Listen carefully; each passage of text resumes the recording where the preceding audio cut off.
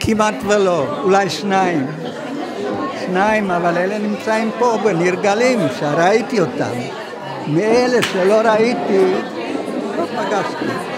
זה משוהם עוד לא הגיע. אבל אמרו לי שיש פה מישהי, אבל אה, עוד לא ראיתי אותה.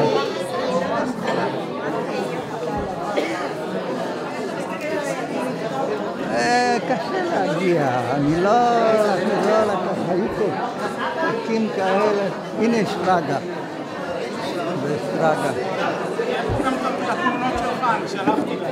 כן, ראיתי תמונה אחת, כשנכנסתי, אז... אז שילמתי בעד הספר, נתתי לשרגא, שאלתי את הפקידה, היא לא ידעה בכלל, לא ידעה שום דבר. נפתלי ויינברגר, אני מכיר אותו. אקשטיין.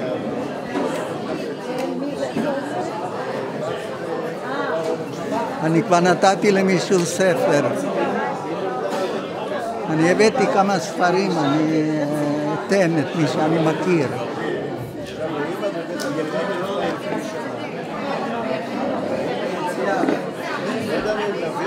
אבל אה, אני בין בכל השולחנות אני לא מזהה. יש פה כאלה שבאו במפיל אלמוני, אבל לא מהחבר'ה שלנו. לא הכרת את כולם. 800 איש, אני הכרתי רק את החבר'ה שלנו, הגרעין שלנו. הנה, זה בא איתי, אתה רואה את זה עם הפרח?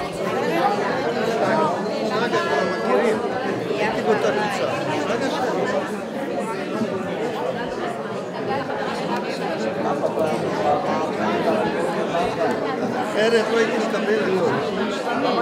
זה היה משותף אבל אני לא יודע מאיזה קבוצה, יש כל קבוצה תוכן. הוא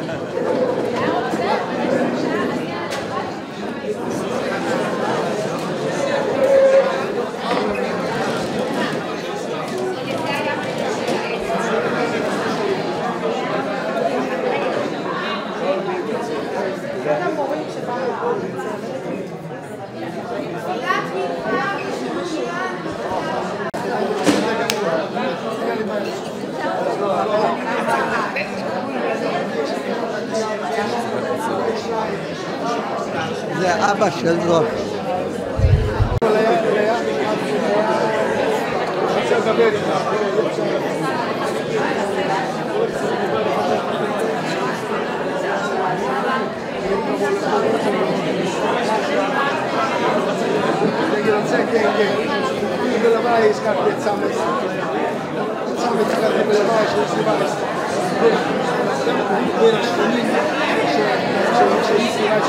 של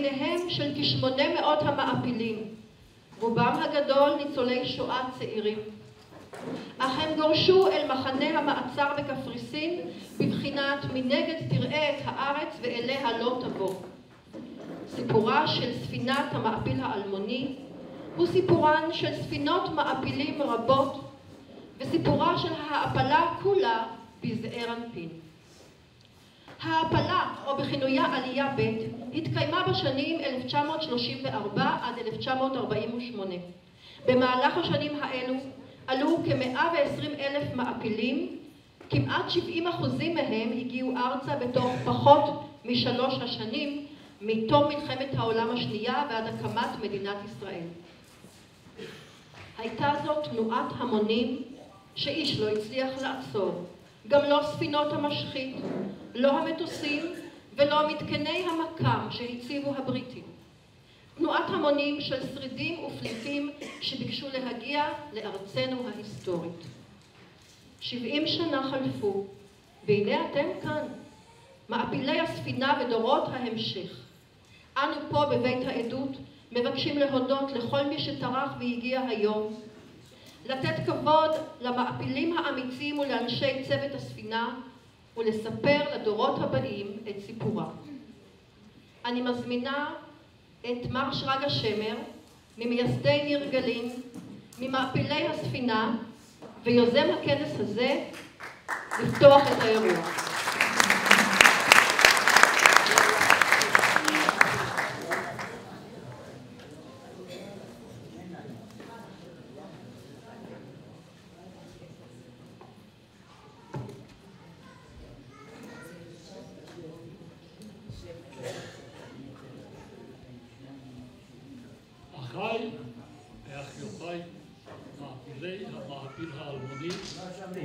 ובני משפחותיהם.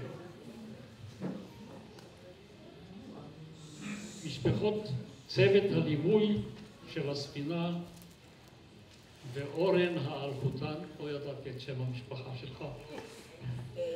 ברוכים הבאים כולם לבית העדות להנחלת מורשת הציונות הדתית והשואה בניר גלים. אורחים יקרים, 70 שנה. 70 שנה עברו מאז, זכינו לראות לראשונה במו עינינו את חופה הזהוב של ארץ ישראל. ארץ שהתגעגענו אליה, ייחלנו לראותה מאז ילדותנו, ככל שספינתנו התקרבה לחופיה, כן גברו והתחזקו ציפיותינו. את מסענו התחלנו לאחר תום המלחמה הנוראה, האכזרית, שלא הייתה כמותה מאז ברא אלוהים שמיים וארץ. בה רובנו התייתמנו, איבדנו אחיות ואחים, קרובי משפחה, חברים, מכרים. השם ייקום דם כולם. אבל כבד ירד על כולנו. אף על פי כן, ולמרות זאת, לא נתפסנו לייאוש. תקוותנו לא עבדה, רצוננו גבר יותר ויותר לשוב לארץ אבותינו, לנחלת עמנו, וכולנו נטלנו על עצמנו משימה נועזת זו ביודענו שלא קלה הדרך. סכנות רבות טמונות בה, ציטטנו את דבריו של בנימין זאב הרצל, אם תרצו, אין זו אגדה. רצינו והצלחנו.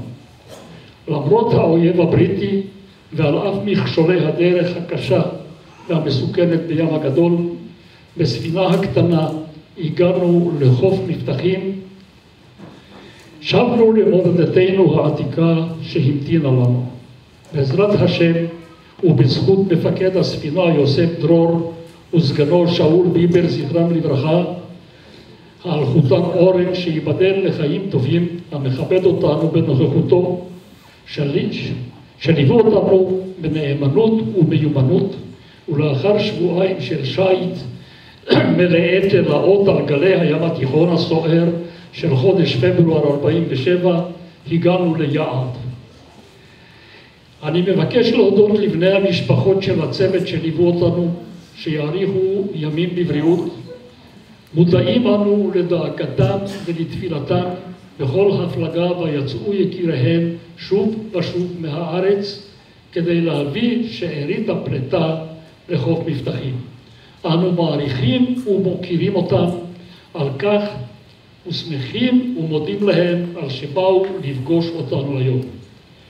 אבקש מאורן האלחוטן שלנו ומבני משפחות של המלווים הנמצאים כאן איתנו, אם נמצאים, אני מבקש מאורן ומאלה שנמצאים לקום לרגע כדי שנוכל לראות אותו בגלוי, לא במחתרת, ולהודות לו על מעשיו במחיית כפיים.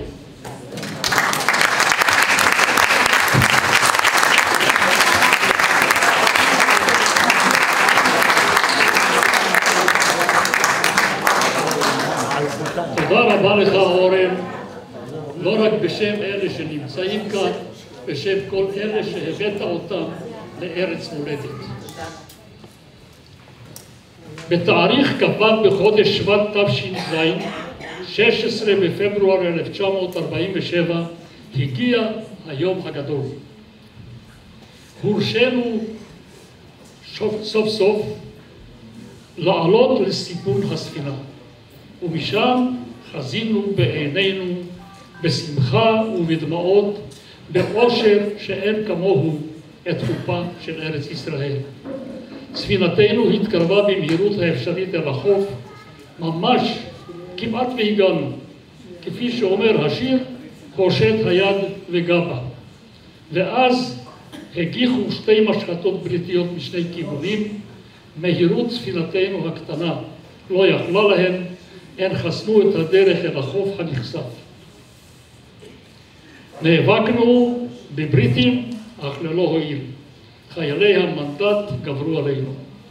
אנו, אני עדיין זוכר כיצד קפץ יוסף דרור לאחר שחייל בריטי השליך את הדגל לים והמפקד האמיץ שלנו משה את הדגל מהים והניף אותו על התורן למרות התנגדות הבריטים. גררו אותנו לנמל חיפה. שם הודיעו לנו שאין לנו רשות להיכנס למולדתנו, אלא באישור ממשלת הוד מלכותו, דיננו גירוש לקפריסין. כך הסתיים לו פרק ספינת המעפיל האלמוני בתלאותינו. בקפריסין נוצרו חודשי הגירוש הרבים בלימודים ואימוני ההגנה, למדנו להכיר את שפתנו, את מפת ארצנו, והוכשרנו לחיות בה ולהיות מוכנים למאבק למען שחרור ארצנו בבוא הזמן. לבסוף זכינו לדרוך על אדמת ארצנו ולהקים מדינה. לא עבר זמן רב ונקראנו לדגל. הצטרפנו לאחים הלוחמים, בכוחות משותפים גברנו על התוקפים אותנו, קרובים וחברים, איבדנו בשארית הכתר, שילמנו בדמנו כדי שדם יהודי לא יהיה יותר הפקר. השתתפותנו, השתתפנו בהקמת המדינה היהודית, בהצד, בהגנה עליה ובמיגור תוקפניה הרבים. יישבנו שממותיה הקמנו משפחות, צאצאינו ממשיכים את דרכנו מתוך אמונה וביטחון בצדקתנו ובזכותנו לרשת ארץ זו. שבעים שנות עמל ומאבק הביאו לנו הישגים רבים, המלאכה עדיין לא מושלמה. עזה תקוותנו שצאצאינו יהיו ממשיכי הדרך ובעזרת השם גם פעלם יישא ברכה. ברשותכם אסיים דבריי בדברי הרועה מתקוע, הנביא עמוס. השבתי את שבות עמי ישראל ובנו ערים לשמות, וישבו, וישבו ונטעו חרמים, ושתו את עינם ועשו גנות, ואכלו את פריהם, ונטעתים על אדמתם, ולא ינטשו עוד מעל אדמתם, אשר נתתי להם, אמר אדוני אלוהיך.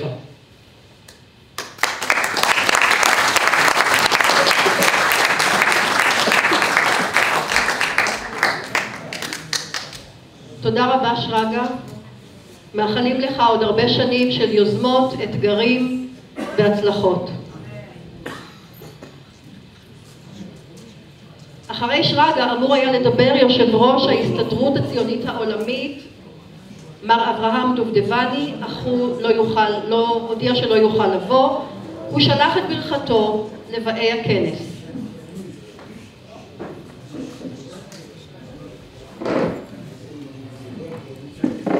קודם כל, אני חייב לברך שהנושא הזה עלה על סדר יומו של בית העדות ומברך אותם על בחירת הנושא ועל הכנס שאתם עושים.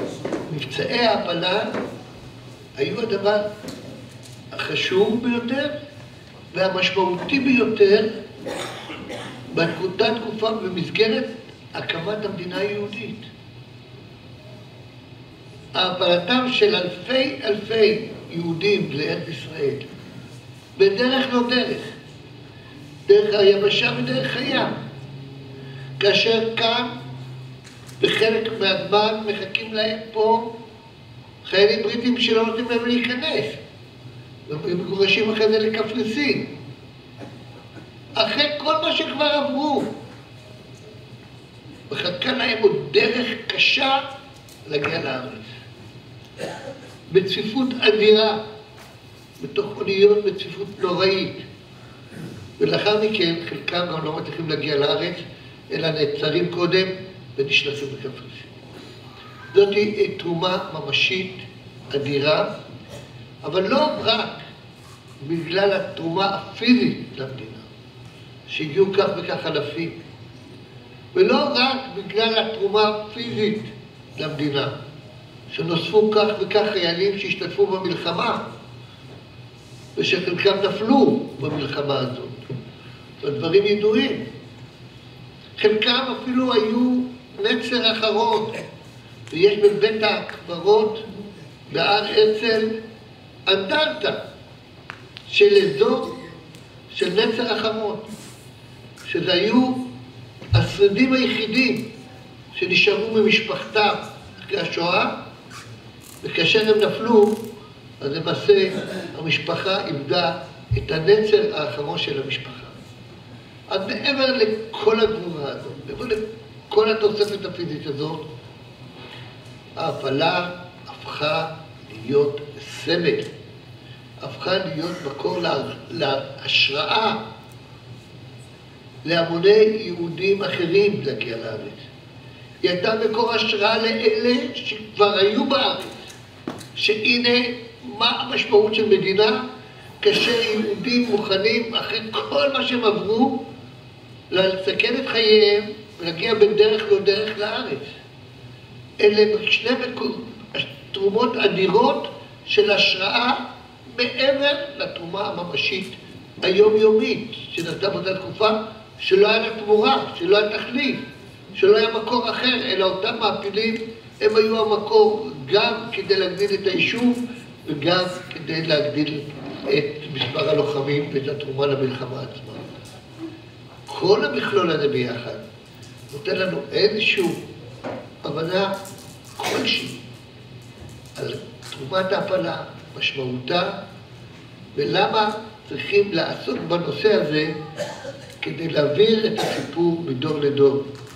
כי זה מקור השראה, מקור לדוגמה אישית, מקור ערכי, מקור אידיאולוגי, שכל הדברים האלה ביחד צריכה המורשת הזו לעבור מדור לדור. יהיו ברוכים.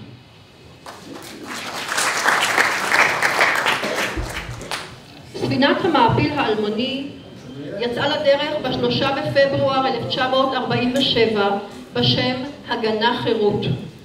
היא יצאה מנמל סט בדרום צרפת. על סיפונה היו כ-800 מעפילים, רובם בני נוער, חניכים בתנועות השומר הצעיר ובני עקיבא בהונגריה, וכן מהתנועות דרור, נוחם וביתר, וקבוצה של בני נוער ממרוקו וטוניסיה. וקבוצה של, של מצרפת של פועלי אגודת ישראל.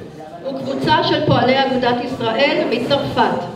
הרי בשביל זה נפגשנו כאן, כדי להעשיר את הידע שלנו ולהשאיר לדורות הבאים מסמך היסטורי מסודר. נוסיף גם את גורדוניה מפולניה. וגורדוניה בפולניה והשומר הצעיר מפולניה. והשומר הצעיר מפולין. כן. תודה לכולכם.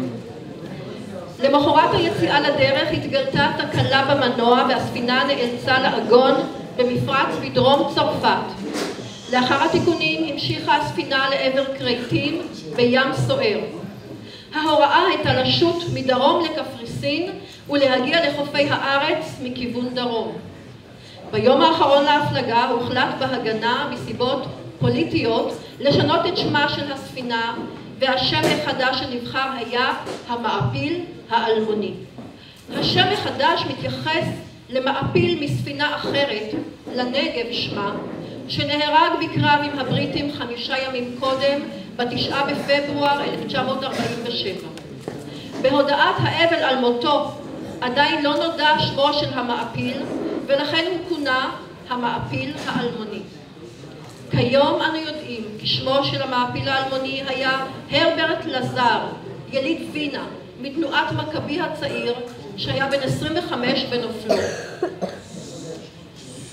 למחרת נתגלתה הספינה על ידי מטוס סיור בריטי ושתי משחטות בריטיות החלו ללוות אותה.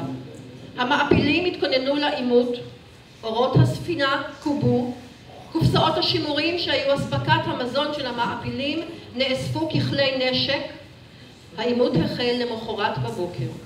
המשחטות הבריטיות התקרבו למעפיל האלמוני תוך התזת זרמי מים אדירים מצינורות כיבוי אש.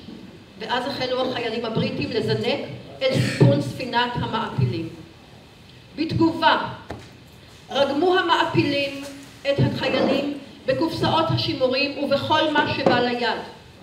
הבריטים הגיבו באש חיה והמשחטות שלהם נגחו בספינת המעפילים. עם תום קרב של כמחצית השעה היו פצועים בכל אחד מהצדדים.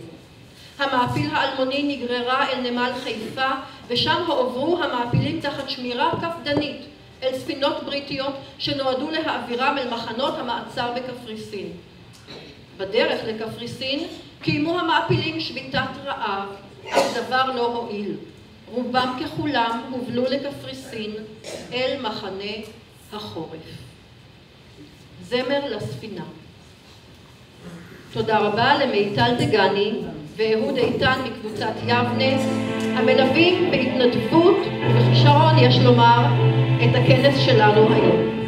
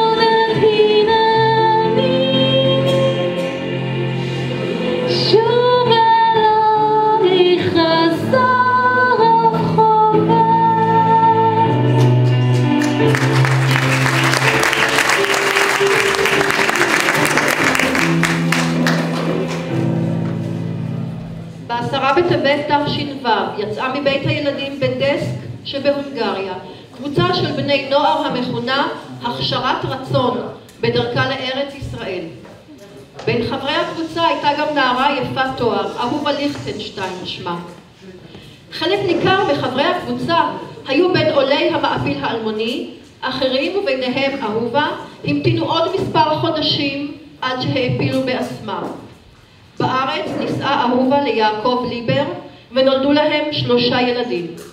אחד מהם, משה ליבר, הוא ראש המועצה האזורית חבל יבנה, שאף נתנה חסותה לכנס זה.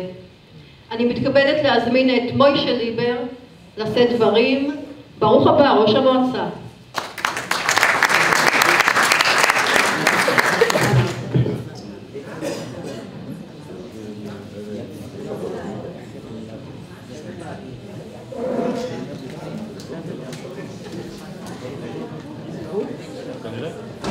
ערב טוב. שנות ה-40 של המאה ה-20 היו מהשנים הקשות והנוראיות ביותר אותן ידע עם ישראל מהיום בו נהיה לעם. אך היו גם אלה שנים של גבורה עטורת הוד. בחצי הראשון של העשור עבר עמנו את השואה הנוראה ובחציו השני נלחמנו על עצמאותנו וקמה מדינת ישראל. מפעל ההעפלה מהווה את החוט המקשר בין השואה והתקומה. עשרות ספינות ניסו להבקיע את המצור הבריטי שבבטנן והסיפונן, שרידי הפלטה, רבים המעפילים לא זכו להגיע מיד לחוף מבטחים. חלקם קיפחו את חייהם, היו שהוחזרו כלעומת שבאו, ורבים הוגלו לקפריסין. טוב עשה חברנו שרגא שיזם אירוע חשוב זה לזכר ספינת המעפילים, המעפיל האלמוני, ובכך המשיך לתרום ללימודו והנצחתו של מפעל ההעפלה, שמעט נשכח אל מול, אל מול השואה והתקומה. אתגרים ומשימות מולידים מנהיגים. שלוש קבוצות של מנהיגות בלטו לאורך מפעל ההעפלה. אנשי הפליה, צעירים בני 20 פלוס, ששימשו כבריתי ספינות עם מאות ואלפי מעפילים. שליחי היישוב שיצאו אל קפריסין, טיפחו את הנוער, הקימו בתי ספר ובתי מדרש, אימנו את המעפילים, אימנו את המעפילים הצעירים בקרב מגע והכינו את הפליטים למפעל הגדול והמצופה של בניית הארץ. והקבוצה השלישית, אולי המופלאה מכולן, הייתה של מעפילים צעירים, ניצולי שואה, שהתלבטו מעל חבריהם כבר בשלבי הבריחה וההתארגנות להפלה. הנהיגו קבוצות על ספינות והמשיכו בכך גם בחודשי, בחודשים הארוכים בקפריסין. בין הללו אפשר לחזור ולציין את חברנו שרגא שבלט במנהיגותו כבר בימים ההם. גם הוריי זכו להיות חלק ממפעל ההעפלה. אמי עלתה בספינת מעפילים הרצל וגלתה לקפריסין שם למדה עברית ויהדות. איני בטוח בפרטי ההעפלה של אבי, זיכרונו לברכה, אולי בערב זה אני שותף לתיקון שאנו חייבים לאותם מעפילים אלמוניים. אני רוצה לאחל לכולכם בריאות ואריכות ימים. ערב טוב.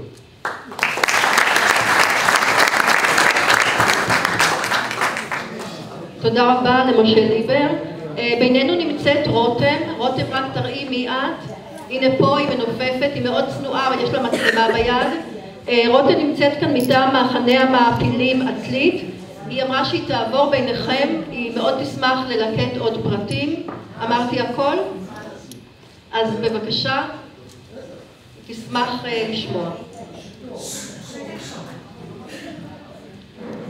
חודשיים וחצי לפני צאת המעפיל האלמוני, העפילה ארצה ספינה אחרת, כנסת ישראל. ביום השלישי להפלגה קראה ללדת אחת המעפילות וילדה תינוק, ראשון מבין 12 תינוקות שנולדו על סיפונה של כנסת ישראל. לאחר התלבטות בנוגע לשמו של הרך הנולד, הציע הגדעוני יואש צידון לתת לו את השם סער. וכך הגיח לעולם בסערת הימים מרדכי סער מרמורשטיין, ריש. התינוק שנולד על סיפון אוניית המעפילים גדל והיה צנחן ממשחררי ירושלים, כלכלן ודוקטור לתולדות ישראל, היום איזה כיף, הוא יושב ראש בית העדות. אני מתכבדת להזמין את דוקטור מרדכי סער מרמורשטיין לשאת דברים.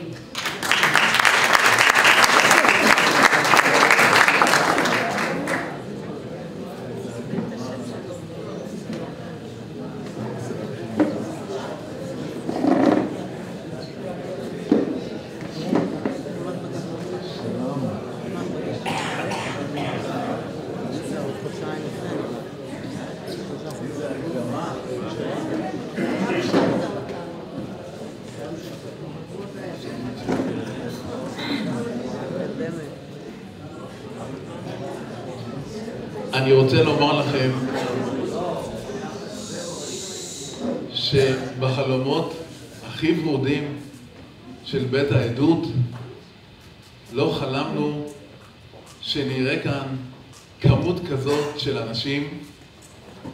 מאחר והספינה הזאת עלתה לפני 70 שנה זאת אומרת שצעיר האנשים פה הוא בן 70 נדבר על הדור הראשון וזה לא מובן מאליו שתבואו, שזה קל להגיע, והגעתם כולכם, וגם הבאתם איתכם רבים מאוד מהדור השני, שזה אומר שגם יודעים יפה להוריש את המורשת הזאת, ואם אני לא טועה, אפילו יש פה סימנים של דור שלישי.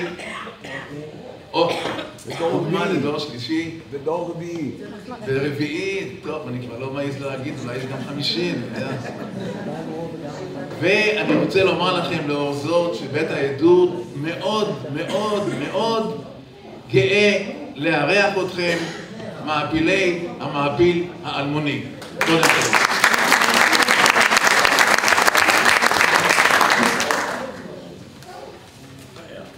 יש לנו כאן מנחה מצוינת, כך שחלק נכבד מהדברים שהתכוונתי להגיד, היא כבר אמרה לפניי. זה כמו בפרשת שבוע שיש שני דרשנים, הראשון אומר את הכל ולא נשאר לשני מה לומר. אבל אני חייב לומר בכל זאת, ואת מה שזהב אמרה, אני לא אומר את זה. אני רוצה גם לדבר על ההעפלה באופן כללי. ועל תרומתכם להעפלה, משום שאין טעם לספר לכם על המעפיל האלמוני, אתם שהייתם שם יודעים, והבנים שלכם שמעו מכם. אני לא מוסיף מילה על המעפיל האלמוני, אבל אני רוצה לדבר על ההעפלה. אני משאיר, זה מה שאמרתי. בוודאי שאני משאיר, ראיתי בתמונה שלך בפרידי, אתה נהיה צעיר מיום ליום. בזכות אשתו. בזכות אשתו. פרק ההעפלה הוא אחד הפרקים המזהירים בתולדות המאבק להקמת המדינה.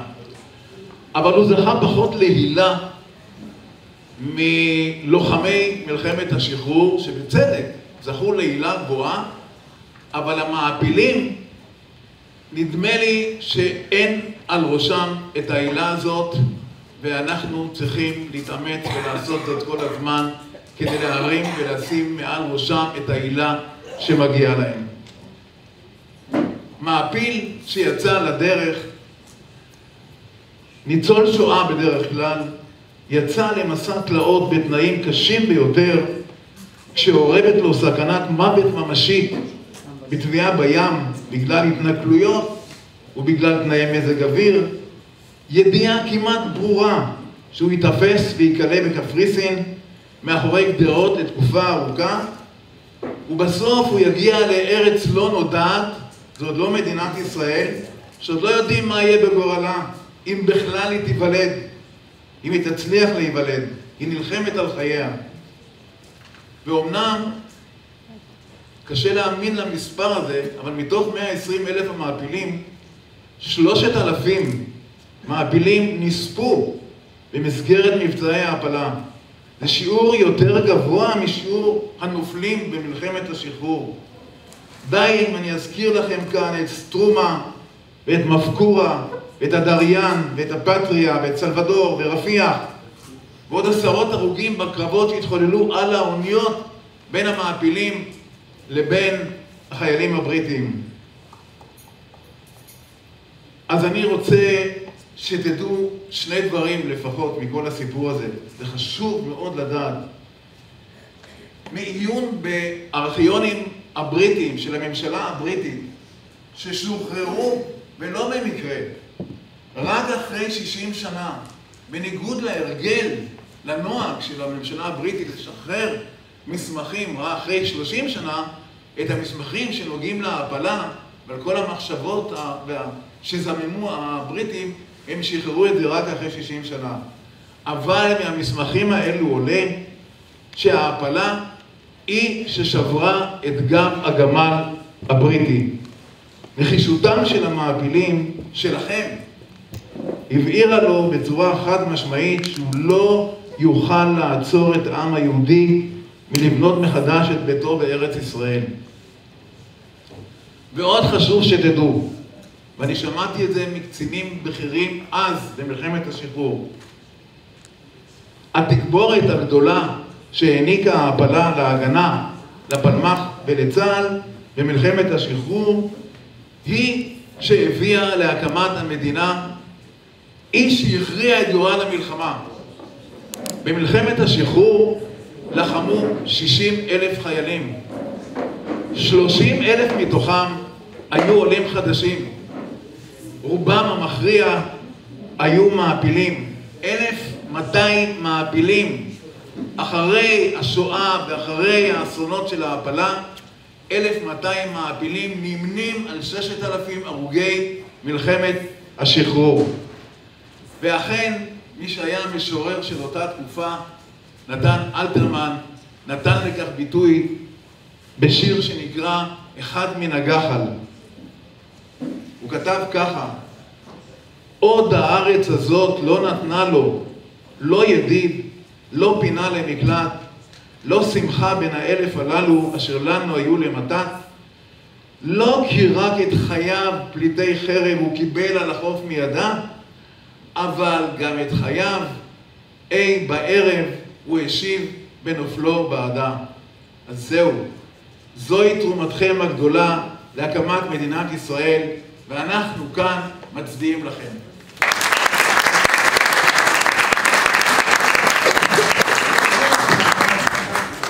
אתם מוזמנים להצטרף.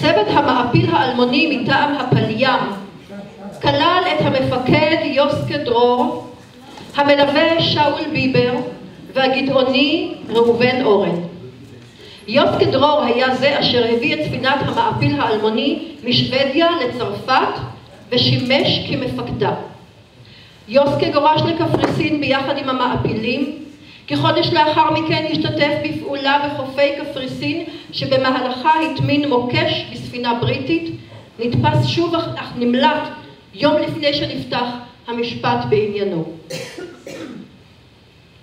יוסקה המשיך לפעול במסגרת הפליים ואחר כך בחיל הים של צה"ל. הוא יצא למשימות רבות בים, ביניהן משימות חבלה רבות נגד ספינות שהובילו את רכש הנשק הערבי, שימש כסגן מפקד שייטת 13 עם הקמתה ב-1950 והיה מייסד שייטת הצוללות של צה"ל ומפקדה הראשון. בשנת 1976 נהרג יוסקה במהלך טיול באיטליה, נקבר בקיבוץ, בקיבוצו מעגן מיכאל, יהי זכרו ברוך. איש הצוות השני, שאול ביבר, נולד בדרך מליטא לארץ ישראל בשנת 1922. הוא גדל בקיבוץ קריית ענבים ואחר כך בטבריה, למד בבית הספר המיתולוגי כדורי והיה מראשוני המתנדבים לפלמ"ח. לפני סיום מלחמת העולם השנייה כבר היה מפקד הפלמ"ח ואף הספיק להשתתף בפריצה למחנה עתלית ולשחרר ממנו מעפילים. כל זה היה בשנת 1945. בהמשך עבר הכשרה כמלווה ספינות מעפילים וליווה את המעפיל האלמוני. בשנות החמישים שימש במגוון תפקידים בחיל החינוך ונחשב לאבי הלהקות הצבאיות.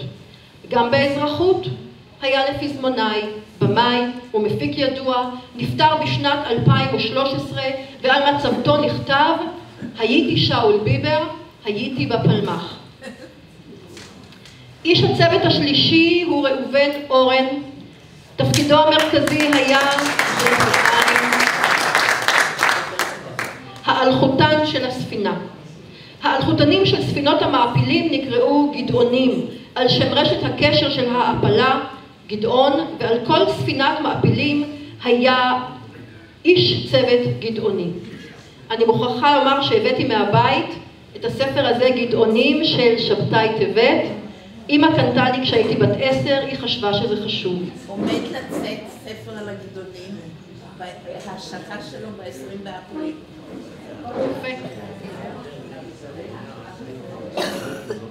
המעפיל האלמוני הייתה הספינה הראשונה שראובן אורן הכין וליווה, בהמשך ליווה ארבע ספינות מעפילים נוספות. בצה"ל שירת אורן במודיעין הימי ואף זכה לצל"ש ממפקד חיל המודיעין. כמה טוב שאין צורך להאריך בדברים על אודותיך, כי ראובן אורן נמצא איתנו כאן היום. אנחנו כולנו נרגשים ומתכבדים להזמין את מר ראובן אורן לשאת דברים. אנחנו נבוא אליך עם המיקרופון.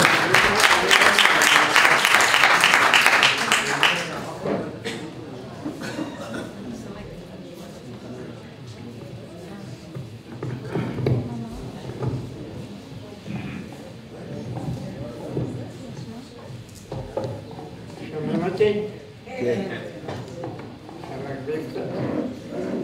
אפשר לקבל את המפה ככה שאני רוצה לעלות עליה כמה אני מביאה.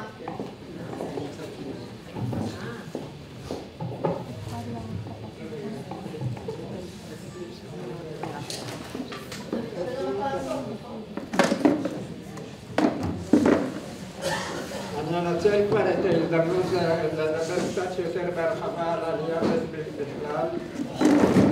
אנשים כאן דיברו והכניסו חלק מהמקומות, נכונים ודברים לא נכונים, כי גם לנו יש בספרות השירה שבאותו ספר אנשים מקבלים שם אחת והיו במקום אחר ולכן יש קצת, קצת בלבול ואני אנסה לתקן את הדברים.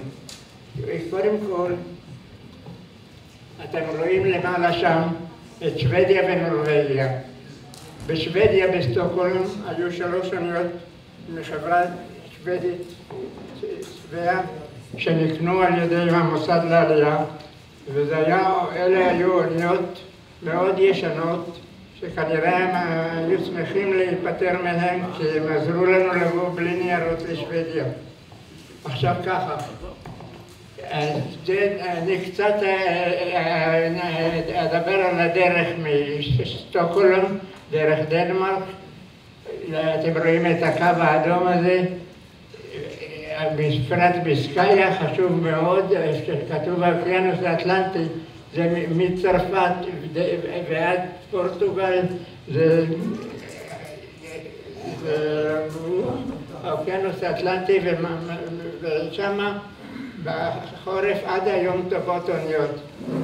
המעפיל האלמוני הייתה, כמו שאמרתי, אחת משלוש אוניות החיות וזקנות, ולא, הם רק שטו במימי, במימי הצפון, נורבגיה ושוודיה, ולכן היו שם 800 בחורות שניצלו על ידי ידינים והם היו במחנה מעפילים בשוודיה ואנחנו היינו אמורים לבוא לקחת, היינו שלוש האוניות, סן מיגואל, סן אנטוניו וסן בזיליו, שלוש אוניות זהות אחיות שלא שטו אף פעם בעולם הגדול רק בפיורדים של, של הצפון.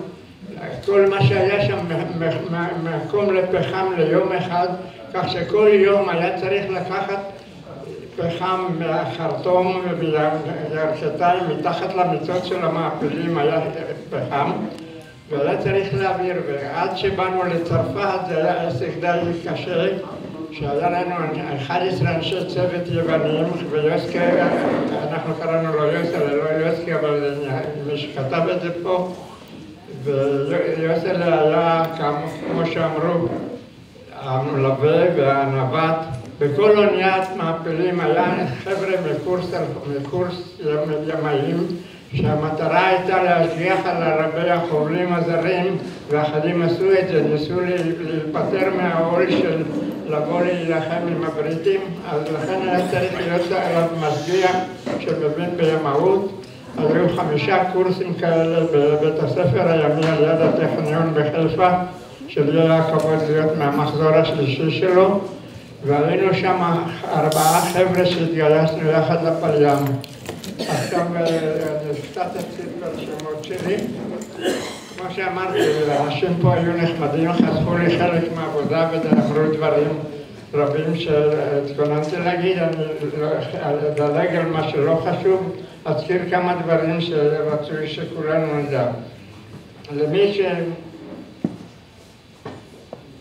לפני שאתחיל בסיפור המסע של המעפיל האלמוני, ברצוני להזכיר, עשיתם אתם, את החובל מלווה יוסל הובר, דרור אחר כך, שהיה המפקד הראשון של צוללת העברית הראשונה, וחוץ מזה הוא היה מהחבר'ה של יוחאי, יוחאי בן נון, שייטת 13 זה הוא ויוסלה ועוד אנשים. ויוסלה קצת היה לו גם בעיות לפעמים, הבריטים תפסו אותו פעמיים, הוא הצליח לברוח פעם, ושוב הסוכן שלנו הנחמד בקפריסין, סניור בדיל, שעזר לך יחד עם האוכל, נתן, הוציא סכין בשבילו לחתוך את החלון שלו בחדר, ואחרי יום האנגלים שוב תפסו אותו. ושאול ביבר הצטרף אלינו, שאול ביבר הצטרף אלינו בצרפת כאשר באנו משוודיה. עכשיו, הנסיעה משוודיה,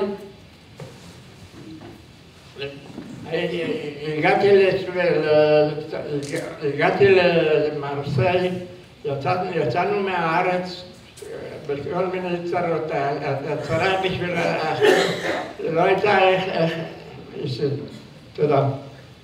העניין היה לא, רק לבוא לארץ, אלא איך לתת חוץ, לארץ מחדש.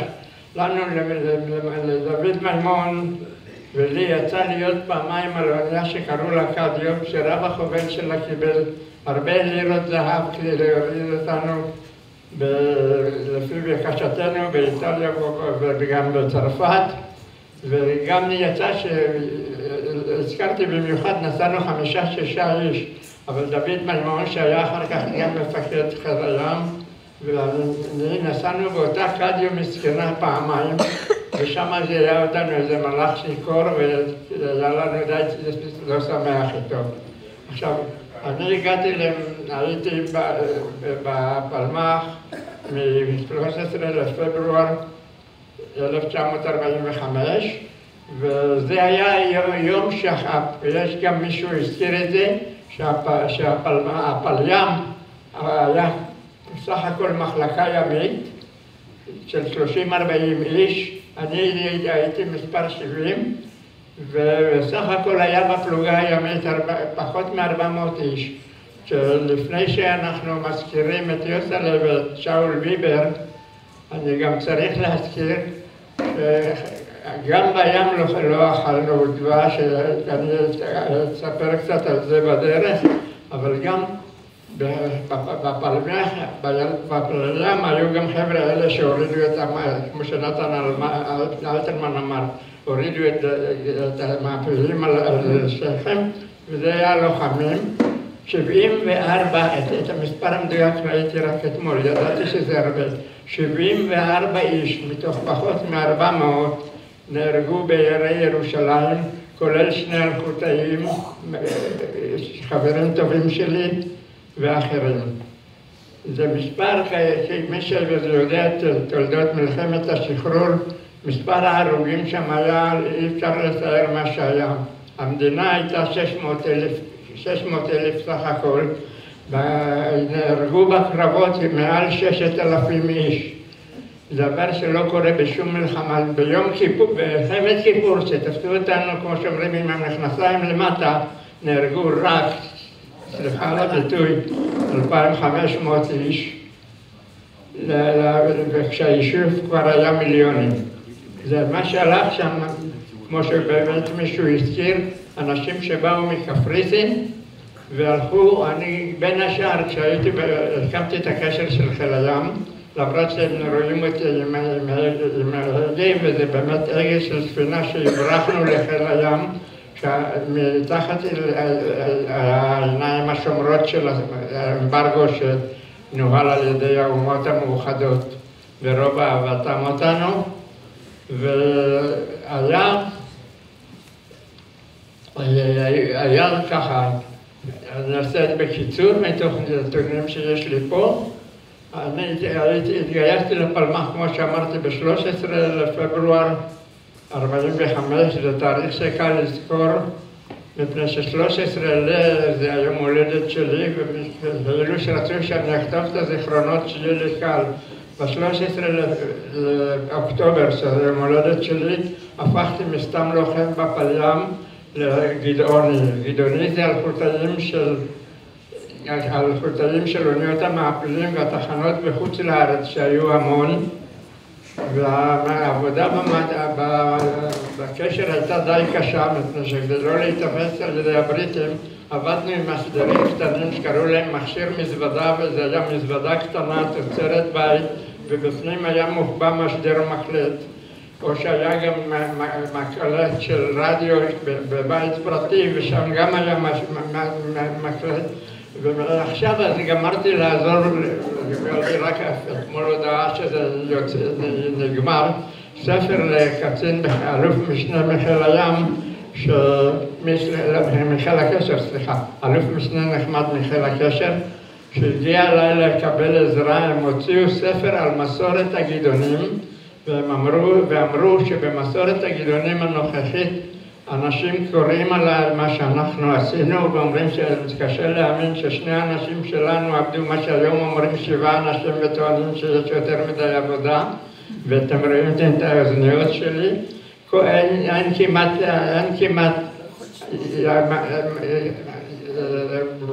סליחה, אין כמעט גדעוני שהוא לא צריך מכשיר שמיעה אולי שניים שלושה לא צריכים, אנחנו אפילו לא קיבלנו מה, מהמדינה על מכשירים, מכשירים שביקשנו, אני נהייתי פעמיים, פעם עם שר מפא"יניק ופעם עם שר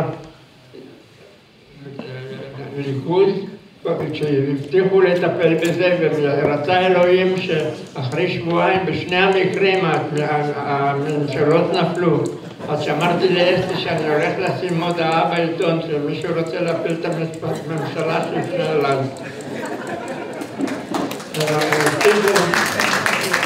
הם הבטיחו לעזור לנו, אבל כלום לא יצא מזה, ואתם יודעים שהמכשירים זה לא תענוג של מאה שקל. אז בואו נעשה לביס, כמו שהצרפתים אומרים. למדנו קצת צרפתית, עד- כדי להספיק להסתגל שם. בצרפת היה לנו למזלנו תמיכה, אם שפעם אחת הם גם אה, אה, אה, פרצו לת- פרצו לתחנה הצרפתים קיבלו כל הזמן מהבריטים דחיפות, תתפסו מה, תתפסו, ופעם אחת הם עשו להם טובה ותפסו שניים, אחד מהם עזרילי קג'ינג'י, מי שמכיר את העינב, בית עינב בתל אביב, שהיה, הוקם בכסף של הוריו. וגם מה שעזר לי, דני, הדני הזה, מה שמו דני? דני רוזן. הוא אומר על מה שרוח פלמחניקים, כמו שאתם רואים פה, אני על הגה של ספינה אחרת שהברחנו מתחת העיניים של האו"ם לחיל הים, ושם אני עומד על ההגה, המלווה היה אורי אני לא אגיד זיכרונו לברכה, זיכרונו לברכה, כל- החבר'ה שלי, לצערי רובם כבר שמה. אתה תאריך. מה אתה מדבר? עמודי, עמודי הט- הטלפונים שלי עם רשימות של החבר'ה מהפלוגה הימית, כמעט אין, אחד בלי זר שם לצערנו. ועכשיו אני, אמרה, מה שהם עשו עכשיו בספר, הוציאו ספר על מסורת הגדעונים, קראו אותם חיילים וקראו אותם מפקדים ואמרו שזה אולי יעשה את ה- את ההלכותאים בחיל הקשר יותר אה, נתונים למען המדינה.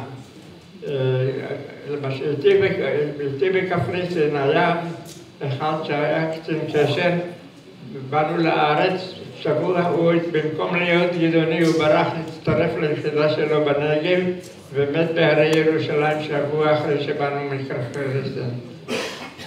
עכשיו לש- לשנות. עכשיו בקיצור, אני לא, לא סתם לקחתי את המפות. אני כבר ראובן אורן שמעתי, הייתי ראובן אורנשטיין ואורן, בצרפת הלכתי בתור דוד וייס, וכל כך הלכתי בתור דוד וייס, שפעם באיטליה הייתי קצת שתוי מה- שהגענו אחרי יום בלי אוכל, אז אמרתי שם למלונאי דוד וייס, במקום ששם היו לי ניירות איטלקים עם שם אחר לגמרי, השם הכי אהוב עליי זה ישי, שזה הכינוי שהיה לכל אלפותאי. בשנים אחרי, כשהייתה ספינה שהבריחה מקפריסין וקראו לה מיוחדת, ומישהו אמר פה שדי הרבה אנשים נהרגו ישר, הייתי בחיל הים, הקמתי את הקשר של חיל הים, גם במודיעין ים. אגב, אני- כשאני אומר עשיתי, אין שום דבר שאין לי להוכיח בניירות, כי דברים אחרים אני לא אומר. יש, יש כמו בכל מקום, אבל אני, למשל כתוב מפקד חיל הקשר הגדול, שהוא מתעקשים יוצא, מ- מ- יוצא, יוצא ספינה, שתי ספינות של חיל הים למבצע, שרק אתה ומפקד המבצע סמך, אם מישהו התעסק בחומר של, של מעפילים, אז אתם יודעים, סמך היה מפקד אבל ים האחרון, והוא היה אחר כך מפקד השייטת שעשה, שעשת- שיצא לפגוש אוניית נשק סורית, שכמו שהקרן A שאתם זוכרים, יש מישהו שלא זוכר מה זה קרן A? כולם זוכרים קרן A, יופי.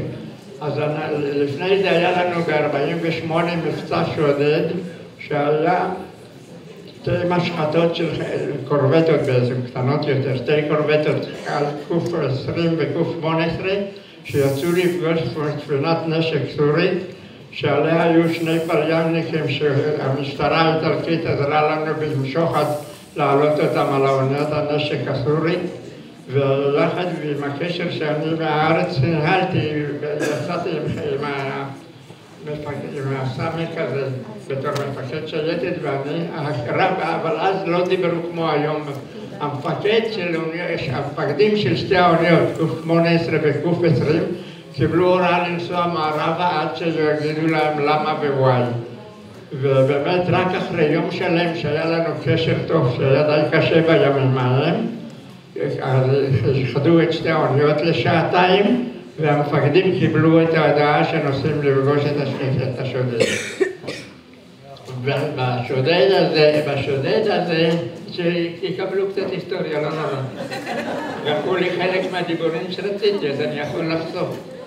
השודד הזה בה שם שמונת אלפים רובים והרבה כדורים, וכל הכותבים אומרים, וזה נכון, ההיסטוריונים, השמונת אלפים רובים האלה שהבאנו מהשודד, היה יותר רובים ממה שהיה בכל הארץ, בכל הפלמ"ח והצבא והמשטרה והאצ"ל וזה, לא היו שמונת אלפים רובים בימים ההם ובגלל זה גם נהרגו הרבה. היו יוצאים יותר אנשים ממה שרובים ולקחו רובים של פצועים והרוגים תוך כדי המלחמה. עכשיו נחזור ל... הגעתי, הגעתי... מראים אותך כאן כשהיית תינוק בארבע. שלום, זה דרישת שלום ממני. זה כשאני פחות משנה, אבא היה רופא בארגנטינה. הוא מווינה, אבל הוא רופא, היה רופא בארגנטינה. עלינו לארץ בפברואר, גם כן, 21 בפברואר 35, כדי להתאים לה שגם היא תהיה ב-35 לארץ, רק כמה שנים יותר צעירה ממני. מי שראה ראה. ו... אלה החוטאים ש... הרי זה- זה- זה תמונה יפה של החבר'ה, זה זה אלה כולם גדולים, חלק, זה בערב פסח 48 ב- בתחנת האלחוט של אה, של איטליה, קראו לה- קראו לה ליאונרדו, ו- בשמות זקי, השני בימין זה זקי, אחד החברים הכי טובים שלי, הימני זה האנסי, בחור שהיינו יחד בבית ספר ימי, אחר כך אני עם סיגריה, וואו, אני מעשן מקטרת, קיבלתי מהבת של שאול אהרונוב. מי יודע מי זה שאול אהרונוב?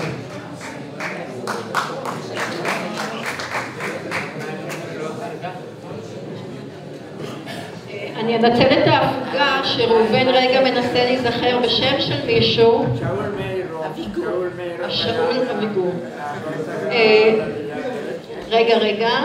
אה, קודם כל, הכנו לך אה, שי ספרים מבית העדות. זה לא כדי שתפסיק לדבר, אלא כדי שתיקח אוויר. ואני עומדת לידך, ברשותך, כדי להמשיך רגע. מלווי הספינות מטעם הפליים הם שפיקדו והובילו את מפעל ההעפלה. אך את עיקר העבודה עשה צבא ההעפלה, נושאי הספינות, אתם. קבוצות למודות סבל של נשים צעירות, גברים צעירים, זקנים וילדים. אתם שעמדתם בתנאים הקשים ששררו בספינות והייתם נכונים להיאבק על זכותכם לעלות לארץ כי היא שלנו. אתם שלא היססתם להתעמת עם הבריטים למרות שהיה ברור שהחיילים חזקים מכם. אתם שלא התייאשתם גם בקפריסין. הכנס הזה מתקיים לכבודם של אנשי הצוות ולכבודכם המעפילים. אני מזמינה את המעפילים שבקהל לשתף אותנו בסיפור אחד, זיכרון אישי מהספינה. אני, רגע, תגידי בקול. זיכרון קצר, זה ברור. אנחנו רוצים לעבור ביניכם, תבחרו סיפור קצר מהזיכרון, כדי שנוכל להספיק לעבור דרך כל מי שרוצה. אה, כן, אני מתחילה ממך, אדוני. טוב, אני אס- אסיים עכשיו בסוף בצד הימי של ההפלגה. אנחנו יצאנו משטוקהולם בדיוק בליל סילבסטר 47. עם ה- 46, כלומר לקראת הראשון לינואר 47, והיינו שתי הספינות, סן וסן אנטוניו. ובליל סילבסטר הם המלחים הספרדים שתו לשכרה ויצא ככה שיצאנו לתוך סערה ואז למרות שזה היה שנה אחרי המלחמה, רק שתחשבו שלקחנו דבש אז רק, זה היה שנה אחרי המלחמה ועדיין כל הים הצפוני והבלטי היה מוקשים והיה במפות סומנו מקומות שנוקו ממקשים והיה צריך לנסוע בזהירות ואם תסתכלו שם במפה שגנבו לנו אז היינו צריכים להגיע לפני קופנהגן, לפנות ימינה וצפונה כדי להקיף את החוף. הספינה השנייה שלנו, אז אצלנו עשינו, לקחנו סיכון, היה חסר אור אחד, לקחנו סיכון עם הקפטן הספרדי ועם יוסקי אובר ואני, חש- חשבנו, חשבנו ואמרנו אין ברירה, ניקח כאן, לקחנו צ'אנס ואחרי עשרים רגע ראינו את הרמזור הבא, את המצוף הבא. וכמו שאני רוצה להודיע לאונייה השנייה שצריך להסתובב למרות שאין מצור, הם מודיעים לי שהם עלו על החוף. מה שהתברר שמה שאנחנו עשינו עם שכל, הם עשו עם שכל, ראו אור אדום, נסעו אליו, ולמחרת התברר שזה היה אור של שדה תעופה קצה המסלול. והאונייה כבר לא יכלה לקחת מעפילים, המשכנו לבד. עכשיו היה... פסקאיה עד היום טובות אוניות. אפשר להשתיק מעפילים, זה נפלא. רק שנייה, לכן זו הסיבה שלא לקחנו מעפילים באירופה, רק בצרפת אחרי שנכנסנו לים התיכון והספינה שלנו באותו גבול בדליון כמעט התפרקה בין הגג, ישנתי בחדר הרדיו וראיתי שה... שהתקרה אומרת שלום לקיר הצדדי. פעם פעמים ראיתי, הלכה ימינה ראיתי כוכבים, הלכה שמאלה לא ראיתי כוכבים, אז קראתי לקטע הזה בזיכרונות ראיתי כוכבים, זה לא היה כל כך נעים, ברחנו למפרץ ספרדי. אנחנו לא, לא יכולים כנס, אני חושבת שערב אחד לא יספיק, אנחנו נישאר כולנו לסוף שבוע. אחד, העולים במפיל הלבני, היה לי הכבוד להכיר אותו, להכיר אותו ולהסב את המזוודה שהוא הזכיר, שזה היה המשדר, כאשר הוא נכנס למין צינור כזה בחיפה, והוא נשאר באונייה, ואחר כך הוא ירד מהאונייה עם, הפועלים הזה של מונה שניקו את האונייה. הוא ביקש ממני- לשתוק, תביא את המזוודה, ואז נדבר על זה מה שקורה. שמי חיים קראוס, הייתי בהכשרה קבוצת רצון מעלה, ופה המדריך שלנו, אברהם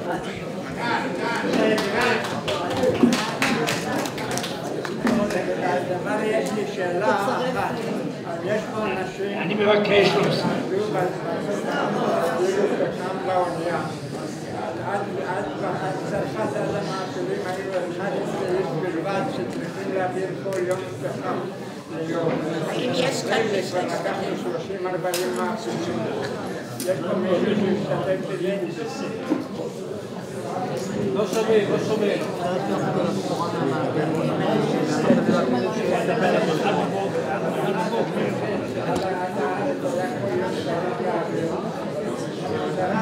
אדוני, אנחנו מבקשים שיפסיק. יש גם אחרים רוצים להגיד כמה מילים. בסדר, היה נורא.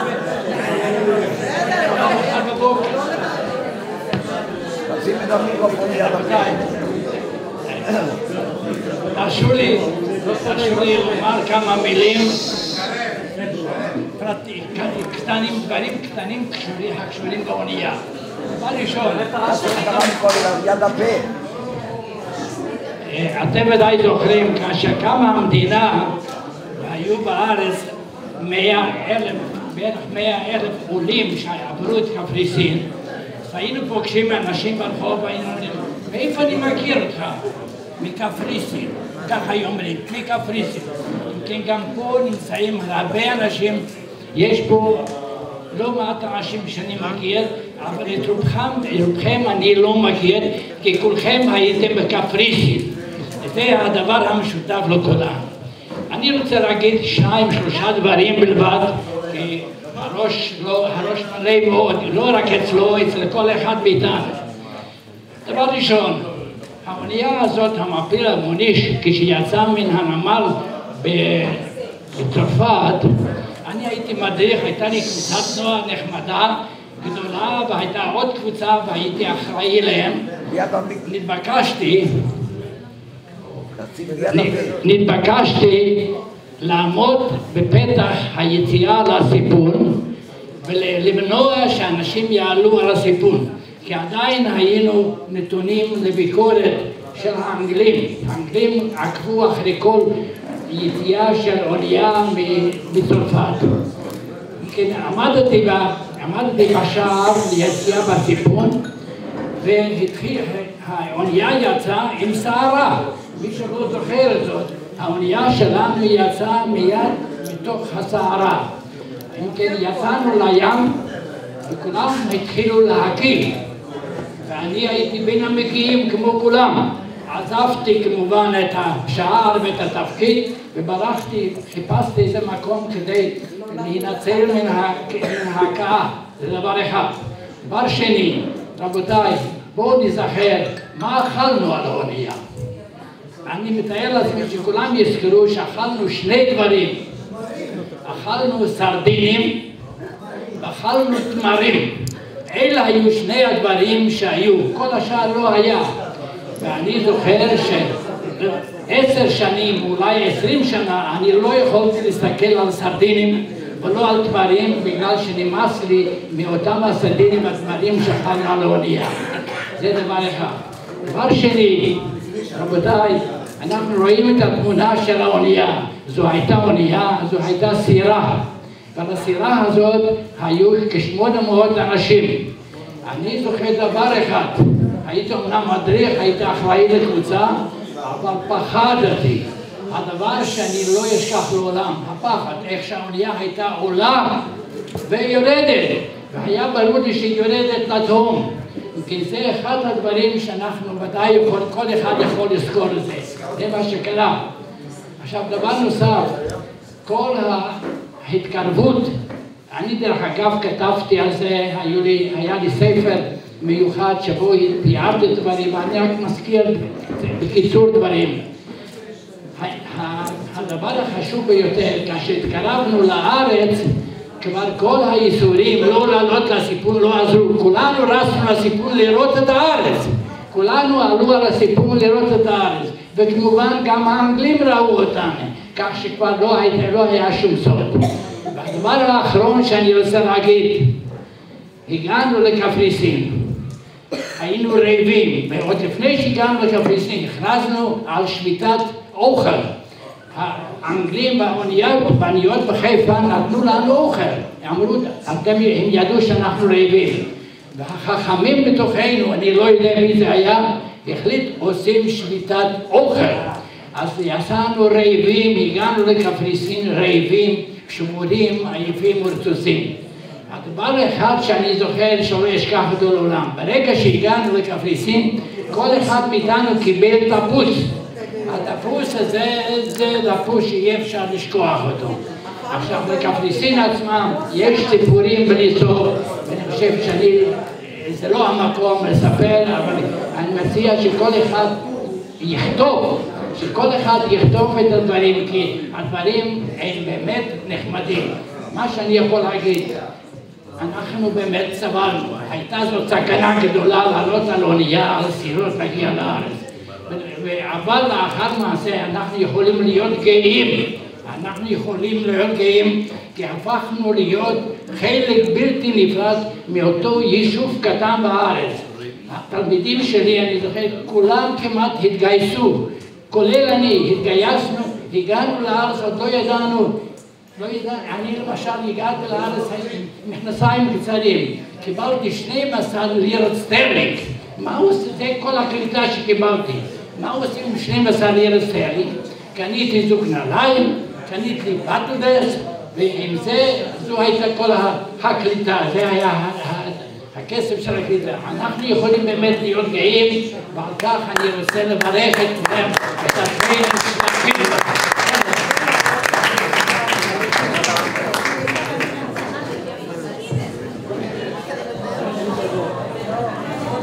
רק תקציב.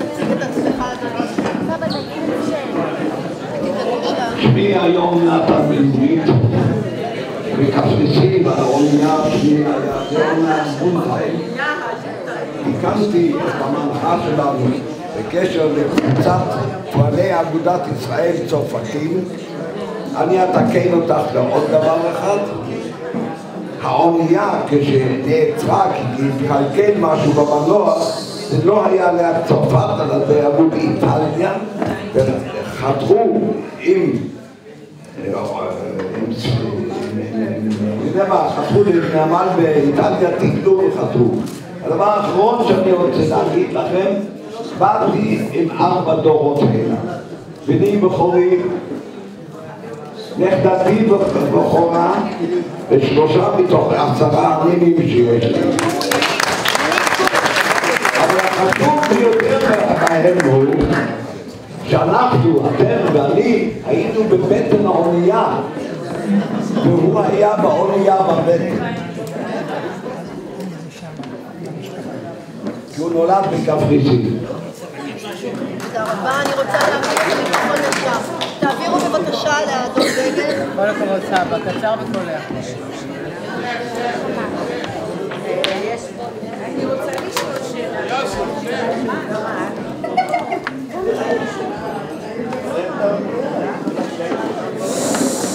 נחזור ל-46. שלום לכולם, אני אחד שביודע מוביל אלמוני שהגיע קודם כל מצ'קוסלובקיה והגענו בהתחלה לווינה, מווינה הגענו אחרי שנה וחצי לצרפת. בצרפת אמרו לנו יורדים על אונייה ואנחנו נוסעים לארץ ישראל. כשראינו את האונייה, הנה לנו גם. בחיים שלי לא ראיתי אונייה, אבל באיזשהו מקום עלינו על האונייה הזאת. באונייה הזאת היו 800 חבר'ה צעירים מכל המפלגות, שומר הצעיר, הפעלה, כולם היו שם בעיה אחת. אני רוצה רק לתקן דבר אחד. אני שמעתי כאן בעניין הדגל, שהדגל ימני היה על האונייה. הדגל, הוא- מי שהוציא את הדגל הוא- הימני הזה, זה היה מיטלמן, היה קבוצה שלי שעמד שמה באנגלית הוא שם את הדגל הישראלי כחול לבן. האנגלי הוציא את הדגל מיטלמן הלך איתו ביחד ורצה להביא בו הכל. האנגלי הוציא את האקדח, אני עמדתי על ידו. רצה לראות באישה, יכול להיות שכאן. פתחה אבל אם יש לך יד, תירה בי. וזה, אני הייתי על יד מיטלמן. כאן לא ידעו את זה, ואני סיפרתי את זה כבר כמה פעמים.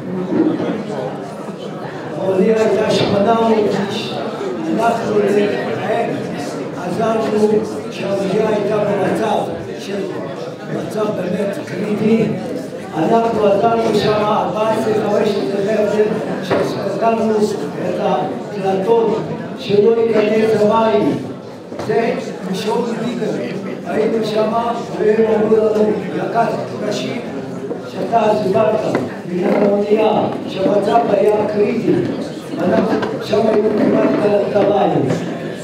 אז חמש עשרה חבר'ה היינו בריאים, ואלו עברנו בצוות של אני לא יכול וככה הגענו לאונייה, וכאן, כשהגענו לארץ, שעה לחמנו נגד האחים. שלוש משפחות. למעוניינים, אנחנו מיד נעמוד לשירת התקווה, עוד קודם ברצוני לומר שביצד בית הזכוכית, שזה ביצד הדגל שלנו כאן בבית העדות, יתקיים בעוד עשר דקות, מיד אחרי שירת התקווה. אתם מוזמנים לבואת הכניסה לבניין. אה, יש כאן שאלה בעניין התמונה, ואחרי כך אנחנו קמים לשירת התקווה. האם יש פה מישהו שהיה בקבוצת נוער, ניצולי שואה, ש... היה המדריך שלה, של השומר הצעיר מפולין. כן? כן? מתברר שישבת גדול. אוקיי. זה שירת התקווה